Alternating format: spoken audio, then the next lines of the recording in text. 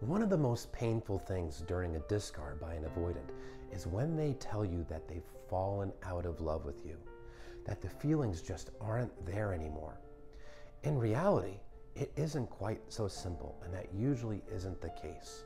Because typically, just days before, the avoidant was acting like they were all into you. They may have even been telling you how much they loved you.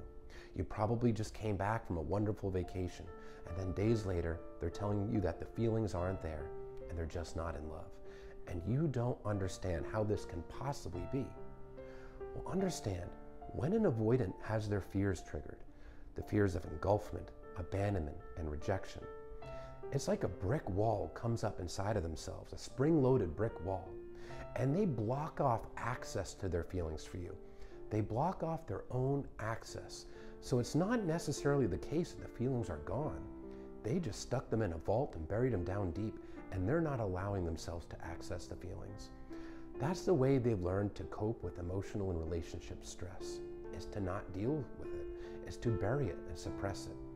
Because of their fears, their fears of rejection and abandonment, they've blocked off their access to their feelings for you.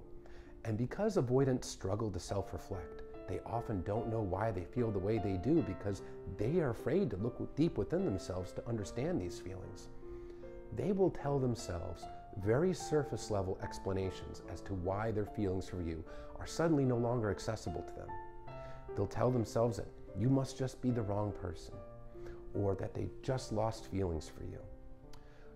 But when no contact is used, when you put no contact in place and time and space goes by, the avoidant feels safe because they're no longer being pressured and pursued by you to be in a relationship. That's when they lower that brick wall and they allow themselves to access their feelings for you again. This is why, more often than not, the avoidant ex reaches out in no contact and tries to get back together. It's because those feelings were never actually gone. They just weren't allowing themselves to access the feelings. There is a big difference. It's a very dysfunctional way of handling emotional and relationship stress to block off, to shut down, to prevent themselves from accessing feelings. They are so afraid of heartbreak and pain that it's easier for them to shut down and unfortunately abandon you rather than risk being abandoned. But understand it's nothing that you did, and it's usually not the case that they lost the feelings. It's usually just the case they won't let themselves feel their feelings anymore. It's nothing that you did, so don't blame yourself. You didn't cause their attachment wounds that are unhealed. Can they heal them? Yes, they can.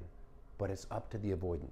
They have to want it. They have to want the healing badly enough to do the difficult self reflection and the work required to heal and become more secure.